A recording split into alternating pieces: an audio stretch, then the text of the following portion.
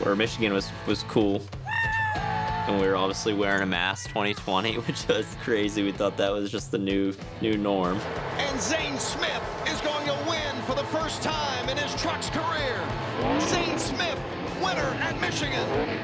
I remember winning, and you're so used to the crowd yelling and and screaming and cheering for you, and it was almost crickets, and you just hear your team yelling.